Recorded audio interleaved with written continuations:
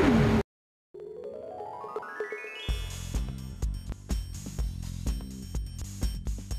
ये जो आज जो धरना प्रदर्शन कर रहे हैं तो ये आपका क्या मतलब है? ये ये मेन बात ये है एस डी पी आई ये इस चीज़ का प्रतीक है।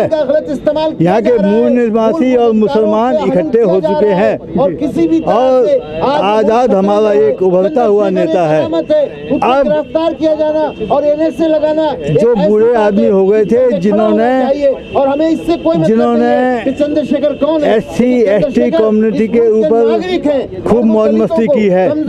मुसलमानों के अंदर भी यंग तबका आ रहा है जो कि आम जनता की बात उठाएगा। ये जो बिके हुए आदमी हैं जीते तो ये इनकी। इनकी बदौलत है। बाबा साहब बाबा साहब का संविधान नहीं होता तो आज एक आदमी भी पार्लियामेंट में नहीं होता विधानसभा में नहीं होता कहीं नहीं होता।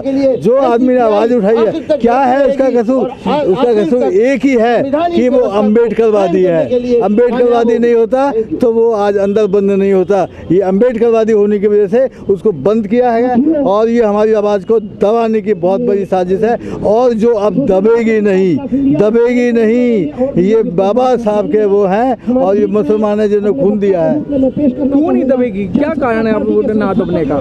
दांत दबने का सबसे बड़ा कारण ये है अब हम अब हम कि पढ़ चुके हैं जान चुके हैं जानकारी है। और सबसे बड़ी बात ये ना दबने की जो आपने कहा एक होगा एक होने एक लड़ने की ताकत है। जानकारी हमारी मेन चीज़ है। जानकारी। चाहता हूँ।